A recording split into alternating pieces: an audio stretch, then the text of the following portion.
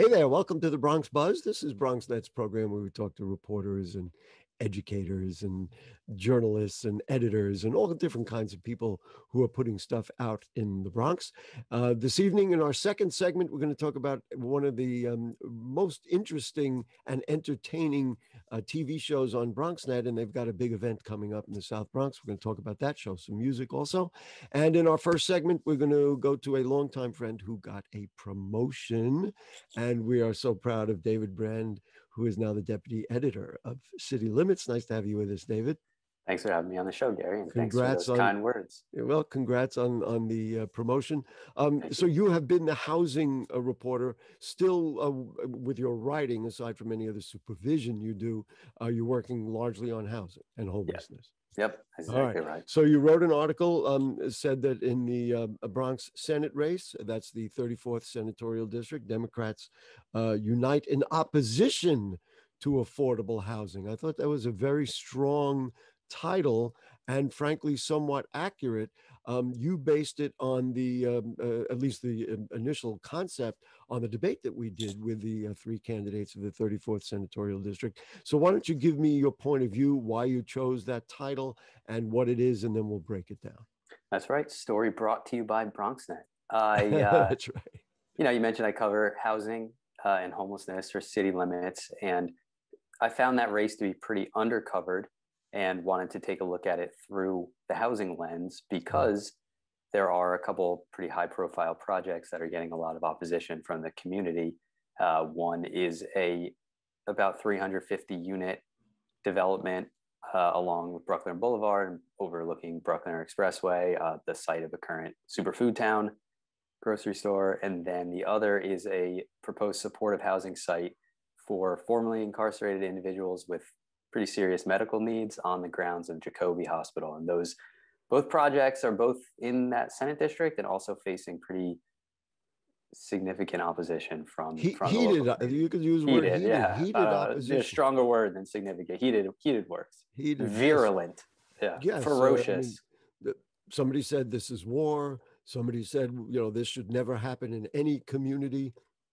Um, yes. Let's do one at a time. So the Bruckner proposal. Now, the borough president was on our show a couple of weeks ago, and uh, talked about moderating it, making it a smaller, um, uh, uh, you know, uh, residence. You know, so it's not whatever it was, eight stories, and then they would lower it down, so it's not as large and it's more in context with the rest of the neighborhood. And um, she also talked about you know doing proper studies to make sure that there are enough schools and enough sewage and all the other issues that uh, come in there. Um, but there is this feeling of we don't want to bring other people into our neighborhood, right? I mean, I, I wish I could characterize it another way, but that is definitely what's out there. Yeah, and I think that's definitely the perspective from from outsiders who are looking at this and saying, here's a middle class community that eh, has low density housing, like one, two, three family homes. Yes, New York City's right. in the midst of an affordable housing and just overall housing crisis. Here's an opportunity to add a few hundred units uh, on the edge of that low rise neighborhood. And yet it's still facing such as, as we said, ferocious backlash.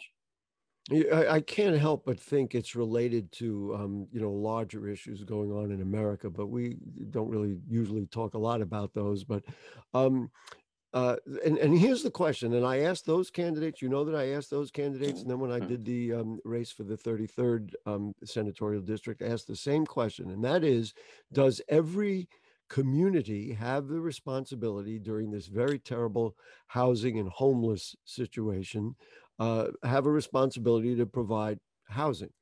Uh, and um, uh, and if you do believe that, meaning speaking to the candidates, then where in your district should would you do it? Uh, I would say in both races, with the five candidates I talked to, nobody proposed and he said, Hey, I know of a site. And so it really leaves people looking to develop affordable housing wanting. Right? Mm-hmm. Yeah, no doubt about it. I mean, so maybe the front runner candidate in that 34th district is current Assembly member Natalia Fernandez, who is running to replace Alessandra Biaggi, the current senator, who's right. vacating the redrawn district as she's running for Congress. So you know, she's got the institutional support. She's got a lot of the money. She's got the name recognition. Seen as a front runner. I followed up with her and also another candidate, Christian Amato, who's positioned himself as more of the progressive. He worked for Biaggi. He has worked on a lot of progressive political campaigns. Hmm. Followed up about like where would they suggest affordable housing, and uh, you know both acknowledge that there's a housing crisis, that we need more housing. They don't support these two current plans.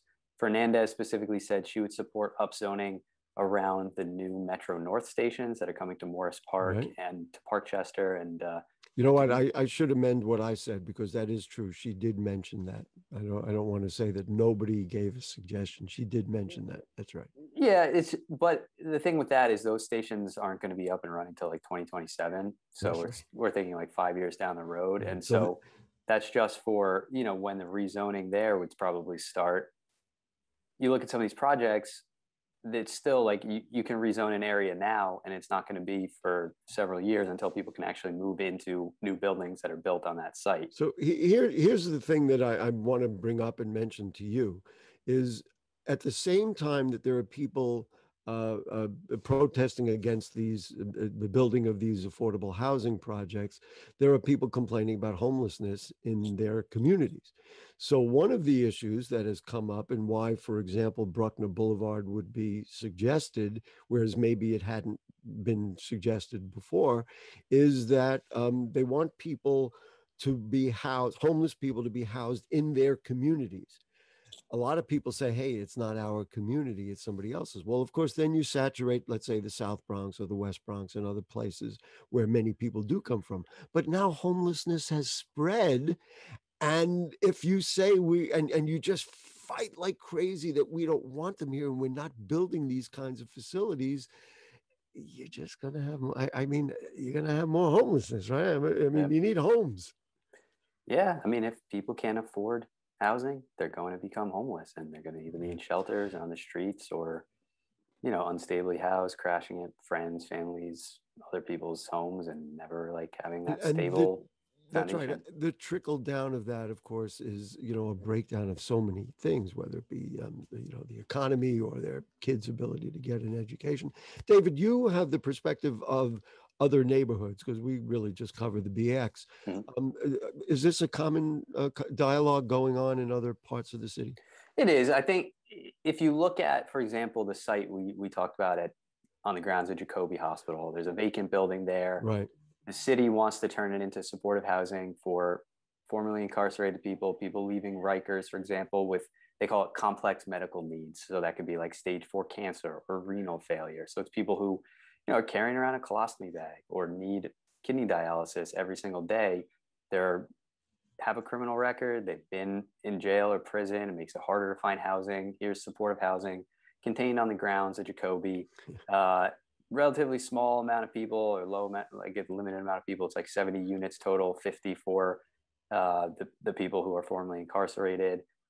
We also see, so there's a fight against that project, kind of mirrors another fight over in uh, Hell's Kitchen, where mm. another supportive housing site is time for people with HIV AIDS was getting a lot of pushback from that community and that community would say, no, we, we, we, we want people, we want housing for people with HIV AIDS, people who were homeless, but we were promised middle-class housing and that's what this community needs. So there's always kind of justification for this opposition. You say, no, you know, we want to help people in need. We just don't want this specific project to help them. But I, it's the project that's on the table. So yeah, well, that's that's number one, and also the organization that is, you know, going to be responsible that is pitching it, the Fortune Society, has a great reputation mm-hmm. of doing it. Plus, it's on the grounds of Jacobi. It's not like they're building it across the street where somebody lives. Uh, and and again, if you if we don't find some way of caring for these people they're going to be homeless and they're going to be ill and they're going to be a load on society in some other form and, and uh, you know if and, and a lot of these these are not people who've been convicted of murder or you know gunplay or whatever else. These are people who've had like one year um, sentences have are out on bail, et mm-hmm. cetera, et cetera. So it's not like that. You know, Dave, um, when you get a chance, look up 5731 Broadway, which is across uh, Staples. That was a family shelter that was protested heavily, hmm. but there was a community group that came out and welcomed the people there. And I, I don't know who the provider is, but they're running it very well. And since that was built, I don't know, three, four, five years ago, you haven't heard a word, a negative word about it. It's just people living there. Now, I'm not saying it never happens, but it's possible to do it right. Yeah, and mm-hmm. that's a good point. You know, there's all this opposition in the lead up, and then something goes through, and then more often than not, it seems becomes a more seamless part of the community, and there you don't hear uh, some negative consequences about it. And that's actually a pretty good idea for some follow up reporting. Here's five places that faced fierce community resistance. What's the situation now? Probably uh, fit into the community pretty well. Yeah, fit in as, and, and people are just living their lives because they have the support, uh, which could be any different um, types of uh, support. Um, do you? So I, I, guess my conclusion is, and you can weigh in or not, is it would be great for somebody um, in a position of responsibility, whether it be somebody in office or somebody running for office or whatever, to say, you know what, we got to solve this problem. In other words, I'm not hearing answers to solving the affordable housing crisis. And that's why I was in love with your headline uh, that said um, Democrats unite in opposition to affordable housing. It's actually true um, because they didn't really suggest, other than, as you said, um, Assemblymember um, Fernandez didn't really suggest where else or how else they would um, uh, deal with this um, uh, this issue. Uh, another aspect of this is um, the developers or the, the people who want to build these things. The one on um, Upper Broadway up here, uh, 262nd and Broadway, uh, there's a lot. I mean, there's a lawsuit now because they say the operator or the potential operator is is not fit. Um, do you get the sense that there are a number of responsible um, because you see this, this will be the last question because we're almost out of time. Um, and there are a number of responsible providers who can run, build good housing and, and run the kind of support that will keep people off the streets. I think there are. And it also, you know, this, those providers that are good have to be incentivized to take on these projects because they only have so much bandwidth. And if they don't take it on, it's going to be a bad one. Dave, let me just uh, follow that up with this it would then suggest that not only does the provider need to have some resource and some know-how, but there has to be some supportive fund, to use a pun word, supportive funding to go with it, that it's going to have to be some governmental thing, whether it be a grant or in a budgetary line or, you know, something like that to get the thing going. Yeah. Yeah, I think that's, that's exactly it. right. All right. Well, you know, that means uh, we need communities to step up and right now, um, uh, uh, certainly according to the debate I did in, in your article, um, we're not quite close to uh, getting that. Uh, David Brand, congrats again on being named uh, deputy editor at City. Thank you. You have a lot of work to do. We appreciate you taking the time with us. And we're going to take a break. And then when we come back from the break, we'll change gears. It'll be music in the Bronx. Don't go away.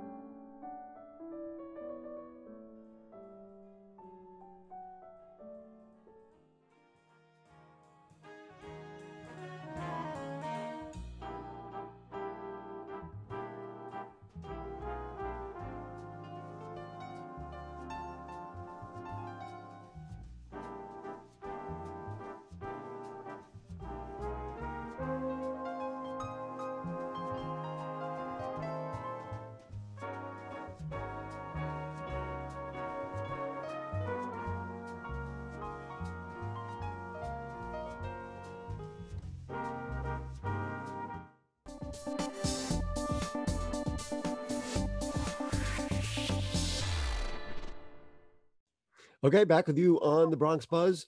Uh, I am thrilled for this segment. These are some old friends and uh, people who are doing what is just so important and so under realized how important it is in the borough of the Bronx. Uh, it is um, Fernando Michael from uh, the Fox and King. Uh, Fernando, nice to see you again. Good to see you. How you doing, Gary? And he brought with him Bryan Durieux, who's a musician, ladies and gentlemen. Hi, Bryan. How are you? I'm doing well, Gary. How you doing? We're doing great. When I talk Bronx music, that makes me happy. So, Fernando, something very exciting is coming up. It is the Block. We understand what that means in the Bronx. The Block. Uh, it is a music and arts festival to premiere at the Bronx Brewery on Saturday, Saturday the 27th, uh, from 1 to 10 p.m. Sounds like a festival. Um, Fernando, get to it. What what do we got? What's what's happening? Yeah, absolutely. So this is a collaboration between the Fox and King, the Uptown Melody, um, Williams running, and uh, Durieux as well, which we have here. It's a music and arts festival.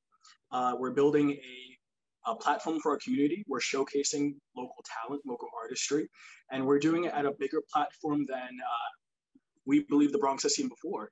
Um, and I think Bryan really kicked us off with this event. Um, definitely, he could tell you more about how it started. All right, ladies and gentlemen, um, Fernando is actually moderating the program for us. He's throwing it to Bryan. Let's let's do it, man. What do you what do you got? How, how, did we how did we get to the block? Well, well listen, the, um, Fernando and I we used to go to shows in the basement of the church with an organization called the Bronx Underground, and we are very much like products of our environment, and I feel that you know, in the Bronx. I said, aren't, aren't we all, man? Go ahead. Yeah, and, and, I, and I feel like that, you know, in, in programming in the Bronx when it comes to music, it, it doesn't span the full spectrum of what we have to offer in our borough. So, you know, I had the crazy idea of one night when I was just like, listen, we have we have hip hop, we have punk, we have R and B soul. Um, why don't Latin we get all jazz, that? Latin jazz, Latin jazz there for sure. We, we have Salsa. we, have reggae, like we have all of that, and it's it was just here. like, you know what? I know I know two incredible people that do incredible shows in the Bronx. And I made two phone calls. I called Ayana and I called Fernando, and I was just like, listen, I really think that we should put together a festival by us for us.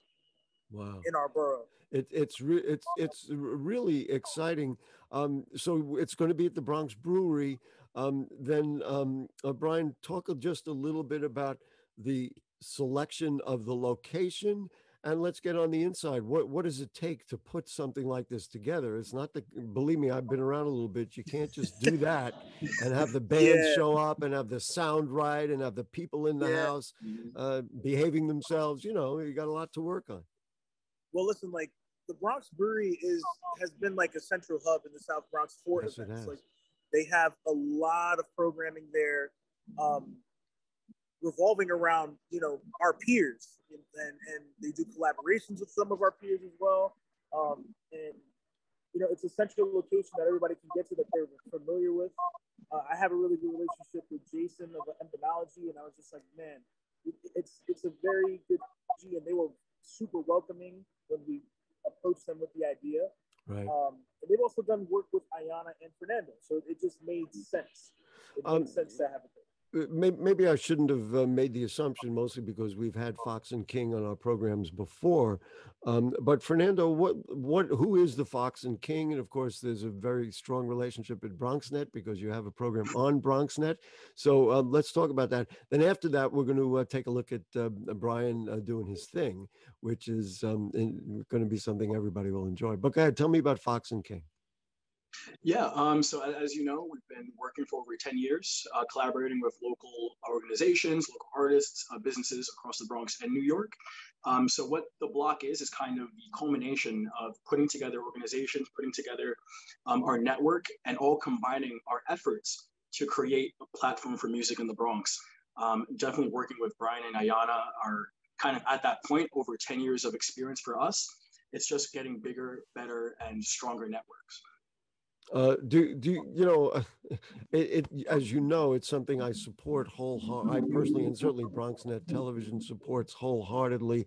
Can I assume that anybody you called and said we're putting this together, they were like, Yeah. Okay. I, am I'm, I'm in. This is what, of course, we've got to do. Right. Right. I, yeah. Bryan. Uh, I mean, there and and I, I'm so pleased because almost like a good journalist and a good reporter, um, you are tapping into something that nobody talks about, but is just so large in this borough and so much a part of the, for want of a better term, the soul of the borough that uh, I mean, it just is, and I, am thrilled. I'm definitely going to try and get down there and and um, have some fun. Um, so, Bryan, um, just talk to me about your own music and um, what we're going to take a look at. Well, all right. So, I, am a singer songwriter.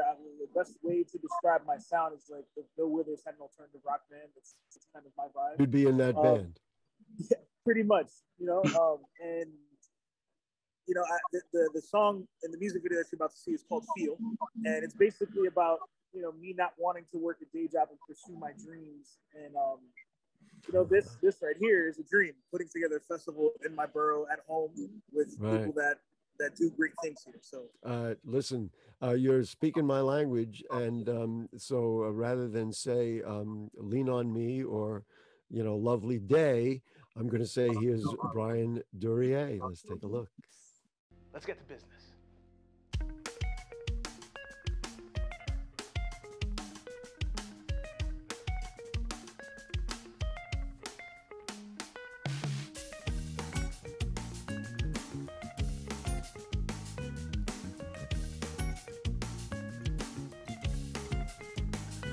What is the difference between being yourself and trying to be different?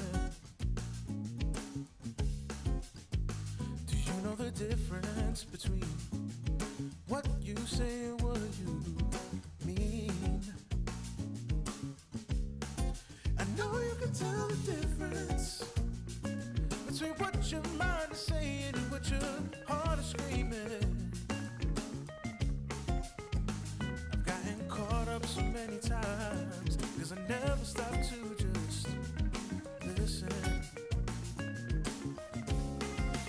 to feel.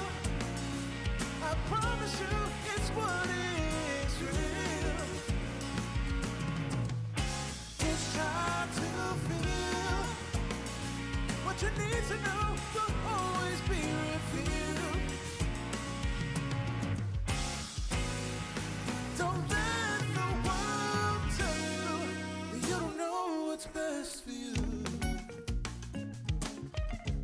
All right, there he is, Bryan, doing um, what you do. Um, so, um, who who do you think will attend? Um, we'll start with Bryan. Who do you think will attend? Who do you think should attend? Um, and how many bands? Go go through the uh, the whole thing. You know, and actually, um, it's ironic because uh, you know the, this is the uh, whatever 53rd anniversary of Woodstock, so this is almost like a little mini Bronx Woodstock. It's not outside in the hills somewhere in Soundview Park, but it is it is it is a way of understanding the same concept. yeah, I would totally agree. I would say the people who need to be there are people who don't know what, what the music scene looks like in the Bronx.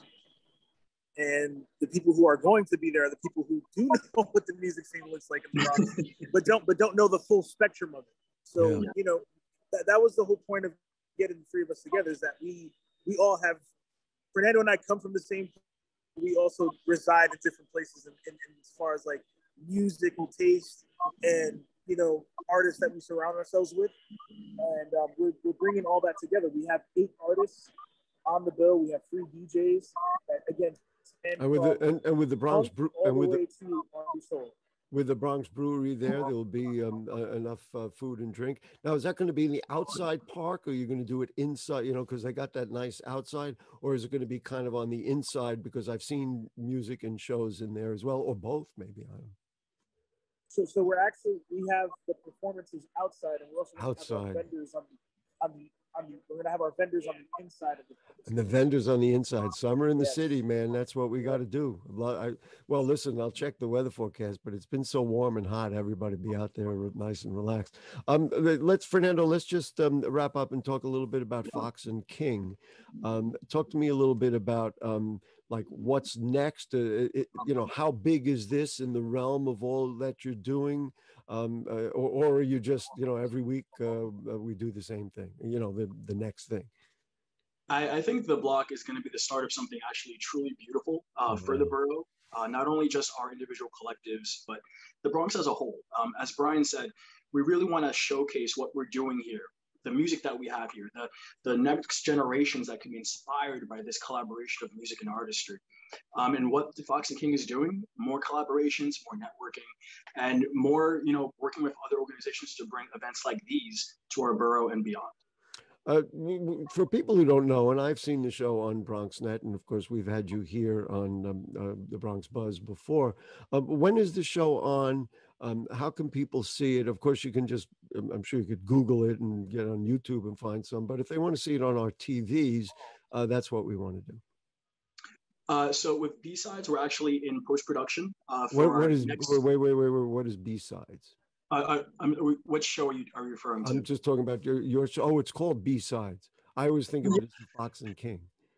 Um, yeah. So right now, uh, season one and two are are on YouTube, available for all okay. public watch.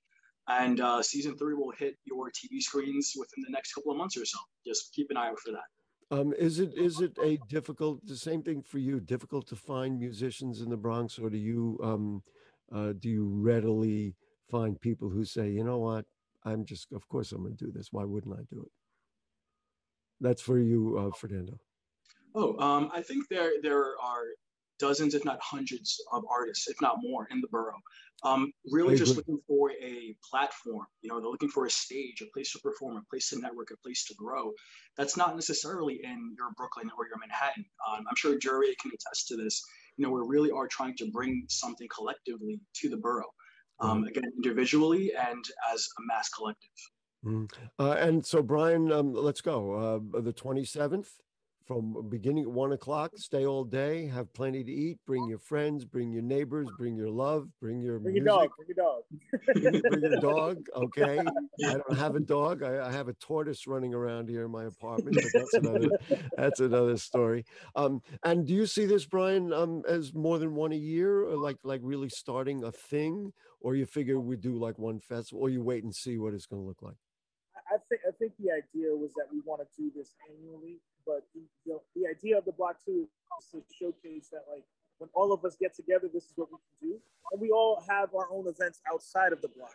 That's it's right. To, it's, to, it's to build the network and showcase Got the it. network. And, you know, Listen, um, we, we got to run. Fernando Michael from Fox and King, thanks so much for everything that you do. You know, you have a friend here and um, Bryan, you have a new friend here, and uh, I'm good. I'm definitely going to get down there Saturday afternoon. It's going to be a party, and I don't like to miss a Bronx party. You know what I mean? uh, so that's it, folks. Um, we will see you next week on uh, the Bronx Buzz. Thanks to David Brand from City Limits for talking about affordable housing, and uh, these guys, of course, for talking about Bronx music, which of course is eternal. And um, guess what? We'll see you next week.